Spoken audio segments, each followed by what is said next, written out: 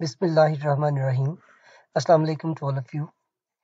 आज हम chapter three start करेंगे अपनी बुक का, जो कि ट्रांसपोर्ट लेयर के ऊपर है।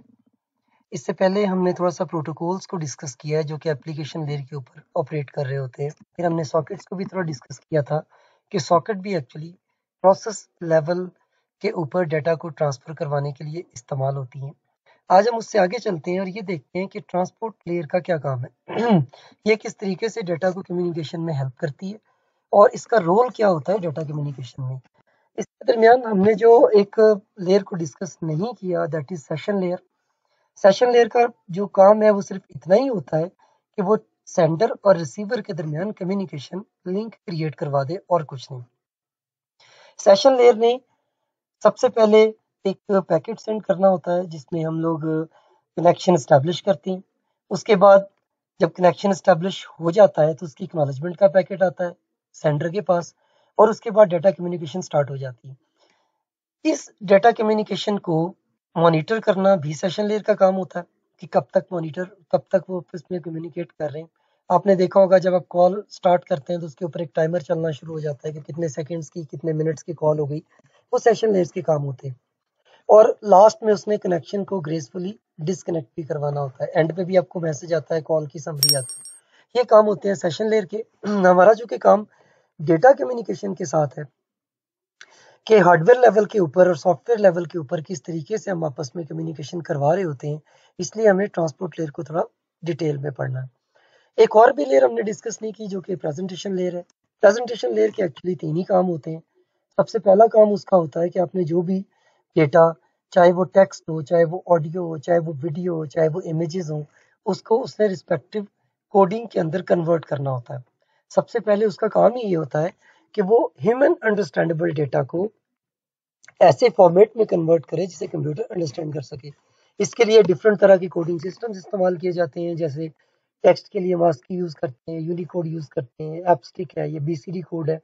इसी तरह ऑडियो के लिए हमारे पास एम वेव वगैरह के फॉर्मेट होते हैं। इमेज के लिए हमारे पास बीसियों तरह के जो है वो फॉर्मेट है JPG JPEG PNG BMP GIF वगैरह। इसी तरह वीडियो के लिए एम पी फोर होता है हमारे पास एम एमपेग होता है, और भी काफ़ी सारे फॉर्मेट होते हैं। तो पहला काम जो है वो, उसका प्रेजेंटेशन लेयर का कोड कन्वर्जन होती है। उसके बाद उसका काम होता है कि आपके डेटा को कंप्रेस करते ताकि उसका साइज़ छोटा हो जाए। कंप्रेस करने के बाद तीसरा काम उसका इंक्रिप्शन होता है। इंक्रिप्शन मीन्स डेटा को एक ऐसे फॉर्मेट में कन्वर्ट कर दिया जाए कि जो अंडरस्टैंडेबल ना हो किसी और के लिए, सिर्फ़ सेंडर को पता हो या रिसीवर को पता हो, जिसे आप लोग एंड टू एंड इंक्रिप्शन भी कहते हैं। लेकिन डेटा का जो साइज़ होता है डेटा का साइज़ सिर्फ़ कंप्रेस किया जाता है डेटा को किसी पैकेट्स में, किसी फ्रेम में, किसी डाटाग्राम्स में ब्रेक नहीं किया जाता। जो ट्रांसपोर्ट लेयर है, यहाँ से आके आपके डेटा को ब्रेक करने का जो काम है, वो स्टार्ट होता है। पहली दफ़ा यहाँ पे आके आपके डेटा के बड़े बड़े पैकेट्स बनते हैं, जिन्हें डाटाग्राम्स भी कहा जाता है। ये डाटाग्राम्स जो होते हैं, इन्हें एक ऑर्डर्ड वे में सेंडर से रिसीवर तक पहुंचाना ये ट्रांसपोर्ट लेयर का काम होता है। तो हम सबसे पहले ये देख लेते हैं कि इस लेयर इस पूरे चैप्टर के अंदर हमने जो जो चीज़ें डिस्कस करनी है, हमने ट्रांसपोर्ट लेयर की सर्विसेज़ जो कि मल्टीप्लेक्सिंग ये भी इसकी सर्विस है डीमल्टीप्लेक्सिंग इन दोनों की हमें ज़रूरत बहुत होती है, हम अगले लेक्चर्स में जाके देखेंगे। क्योंकि आपके पास सेंड करने के लिए और रिसीव करने के लिए कम्युनिकेशन पॉइंट एक ही होता है, लेकिन डेटा जो होता है वो आपका बहुत मुख्तलिफ़ तरह का होता है। तो जब आप मल्टीपल सोर्सेज से आने वाला डेटा किसी एक सोर्स के ऊपर सेंड करते हैं तो ये प्रोसेस मल्टीप्लेक्सिंग कहलाता है। और इसका रिवर्स प्रोसेस डीमल्टीप्लेक्सिंग कहलाता है। फिर हम ये देखेंगे कि हम रिलायबल डेटा ट्रांसफ़र कैसे कर सकते हैं। अपने इसी कम्युनिकेशन लिंक्स को इस्तेमाल करते हुए। यू ऑल नो कि हम लोग जो इंटरनेट के ऊपर डाटा सेंड और रिसीव कर रहे होते हैं, हमारे पास जो कम्युनिकेशन के चैनल्स होते हैं केबल्स हैं वाईफाई हैं, इनमें से कोई भी रिलायबल नहीं होता। किसी भी वक्त कहीं पर भी कंजेशन आ सकती है, कहीं पर हमारे पास डिले आ सकता है, फिर भी ये जो सर्विस है ट्रांसपोर्ट लेयर की सर्विसेज़ में रिलायबल डाटा ट्रांसफ़र की सर्विस ये बेस्ट एफर्ट प्रोटोकॉल की शक्ल में काम कर रही होती है। फिर मुख्तलिफ़ चूँकि डिवाइसेस की स्पीड डिफरेंट होती है, इसलिए उनकी डिफरेंट स्पीड को मैच करना फ्लो कंट्रोल कहलाता है। और अगर किसी एक कम्युनिकेशन लिंक के ऊपर बहुत ज़्यादा डेटा आना शुरू हो जाए तो वहाँ पर डाटा की कंजेशन को कंट्रोल करना, जैसे ट्रैफ़िक जाम को कंट्रोल करना होता है, वो भी इसी लेयर का काम है। इसमें हम इसके दो प्रोटोकॉल्स भी पढ़ेंगे। इसमें यूडीपी को देखेंगे, जो कि कनेक्शन ट्रांसपोर्ट प्रोटोकॉल है, और टीसीपी को भी देखेंगे कि जो कनेक्शन ओरिएंटेड भी है। पहले कनेक्शन स्टैब्लिश करता है, फिर डेटा सेंड होता है यानी रिलायबल है और फिर टीसीपी किस तरीके से कंजेशन को कंट्रोल करता है, ये तमाम सर्विसेज़ हमने इस लेयर के अंदर आके देखनी है। तो हम इसको शुरू करते हैं। सबसे पहली चीज़ ट्रांसपोर्ट लेयर करता क्या है?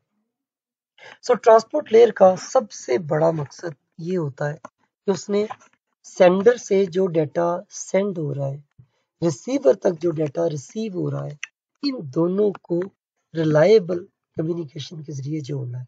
यानी इसने end to end reliability ensure करनी है।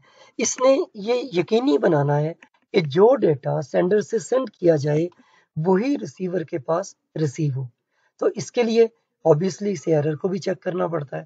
इसको रेडेंडेंसी कंट्रोल भी करना पड़ती है। सीआरसी के चेक भी करना पड़ते हैं। लेकिन सीआरसी के लिए हमारे पास नेक्स्ट लेयर्स भी होती हैं जो उसको नोट टू नोट चेक कर लेती हैं।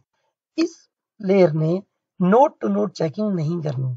मींस आपके सिस्टम से जो डाटा ट्रांसमिशन के लिए सेंड किया गया, वो आपके सिस्टम से निकल के आपके मॉडम में पहुँचा, वहाँ से वो आईएसपी के मॉडम के पास गया। इसने ये नहीं चेक करना कि वो आपके सिस्टम से निकल के इस मॉडम पर ठीक है, वहाँ से निकल के अगले मॉडम पर ठीक है। इसने सिर्फ़ ये चेक करना है कि क्या डेटा रिसीवर के पास ठीक पहुँचा है, उसके अंदर कोई एरर तो नहीं आया। अगर कोई ऐसा एरर रिपोर्ट होता है तो फिर डेटा को रीसेंड भी करवाना इसी लेयर का जो है काम है। So transport layer protocols and systems पर रन करते हैं। ये इंटरमीडिएट सिस्टम्स पर रन नहीं करते। या आप ये कह लें कि ये डेटा कम्युनिकेशन इक्विपमेंट्स पर जो है, ये रन करते हैं। ये डाटा कंट्रोल इक्विपमेंट्स के ऊपर जो है, ये रन नहीं करते। यानी टर्मिनल के ऊपर ये रन कर रहे हैं जो दरमियान में जितनी डिवाइसेस इस्तेमाल हो रही हैं वहाँ पर ये प्रोटोकॉल रन नहीं कर रहा। सो so, वो पैकेट्स जो ट्रांसपोर्ट लेयर पर बनाए जाते हैं उन पैकेट्स को सेगमेंट्स कहा जाता है।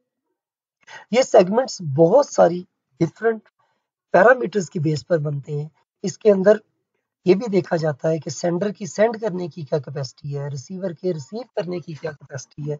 सो so, सबसे पहला काम कि जो भी डाटा इसे मिलना है प्रेजेंटेशन लेयर से जो कि कंप्रेस भी हो चुका होगा, जो कि इनक्रिप्ट भी हो चुका होगा और इनकोड भी हो चुका होगा। इसने उसके बड़े बड़े पैकेट्स बना देने। उन पैकेट्स को सेगमेंट्स कहा जाता है। सेंडिंग साइड के ऊपर ये जो आपका डेटा है, जिसे सेंड कर रहे हैं, इसको सेगमेंट्स बना दिया जाएगा। रिसीविंग साइड के ऊपर इन सेगमेंट्स को रिसीव होने के बाद रीअसेंबल करके मैसेज बनाया जाएगा और फिर कंपेयर किया जाएगा कि ये मैसेज क्या वही मैसेज है जो सेंडर से सेंड किया गया था? अगर ऐसा नहीं है तो फिर बाकायदा सेंडर को इन्फॉर्म किया जाएगा कि आपके मैसेज में प्रॉब्लम आ गया, इसलिए इसको रीसेंड किया जाए। यहाँ पर हमारे पास दो प्रोटोकॉल्स हैं। आप रिलायबल के लिए टीसीपी और अनरिलायबल के लिए यूडीपी को इस्तेमाल कर सकते हैं। सो नेटवर्क लेयर एक लॉजिकल कम्युनिकेशन लिंक क्रिएट करती है बिटवीन सेंडर एंड रिसीवर हम इसे लॉजिकल लिंक इसलिए कहते हैं कि यह कोई फ़िज़िकल लिंक नहीं होता। यह लिंक ये भी हो सकता है कि डेटा ट्रांसफ़र के दौरान इस लिंक को अपडेट कर दिया जाए। राउटर्स की जो पाथ सेलेक्ट किया हुआ है, वो पाथ भी चेंज हो जाए। लेकिन फिर भी इसका काम यही है कि चाहे जितने मर्ज़ी डिफरेंट पाथ के साथ ही आए, इसने डाटा की रिलायबिलिटी को इंश्योर करना। So transport layer logical communication करवाती है प्रोसेसेस के दरमियान। ये नेटवर्क लेयर की सर्विसेज़ को मजीद इन्हेंस करती है। जब हम नेटवर्क लेयर को देखेंगे, आप उसमें देखेंगे कि जो सेगमेंट्स होते हैं, ये मजीद छोटे पैकेट्स के अंदर डिवाइड हो जाते हैं और जो नेटवर्क लेयर है, वो node to node data communication के लिए इंश्योरिटी रिलायबिलिटी क्रिएट करती है। जबकि transport layer end to end systems के दरमियान रिलायबिलिटी क्रिएट करती है। इसको एक एग्ज़ाम्पल की मदद से आपकी इस बुक में समझाया गया है कि फ़र्ज़ करें, दो घरों के दरमियान कम्युनिकेशन आप कर रहे हैं। एंस का जो हाउस है उसमें बारह किड्स हैं, जो लेटर्स लिख रहे हैं बिल्स क्या उसके अंदर, बारह किड्स को। तो इसमें जो होस्ट है सेंडर और रिसीवर वो दोनों के दोनों आपके हाउसेज हैं।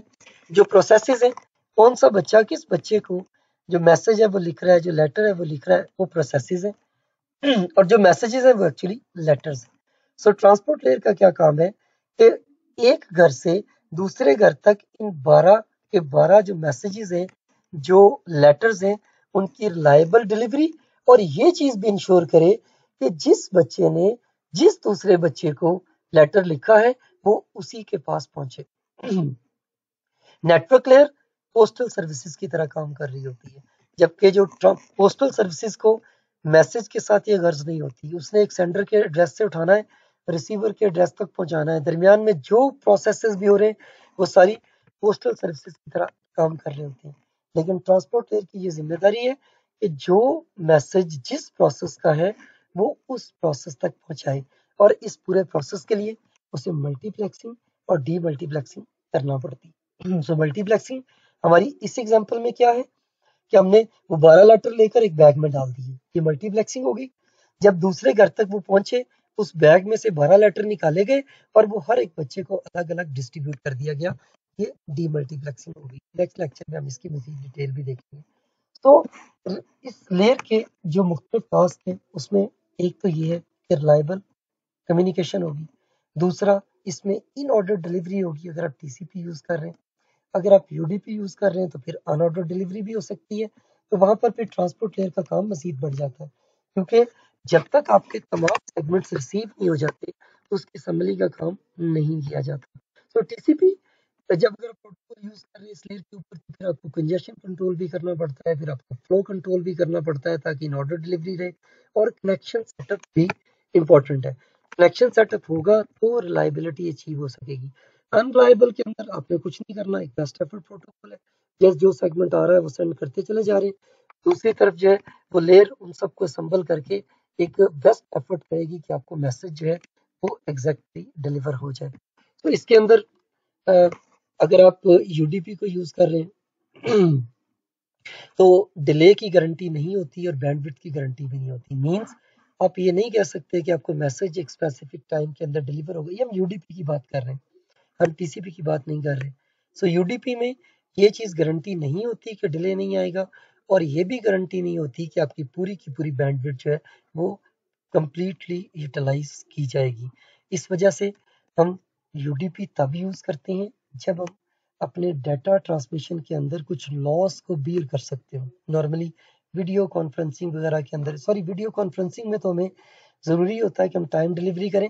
ये जो वीडियो कॉलिंग शॉलिंग होती है, इसके अंदर हम चूँकि अपनी सर्विसेज़ का अंदर अपने जो डाटा लॉस है, उसे बियर भी कर सकते हैं। इस वजह से हम वहाँ पर यूडीपी यूज़ करते हैं। बाकी तमाम रिलायबल कम्युनिकेशन के लिए हम लोग टीसीपी को यूज़ करते हैं। हम नेक्स्ट लेक्चर में इसकी मजीद चंद एक और भी सर्विस को डिस्कस करेंगे। अल्लाह हाफिज़।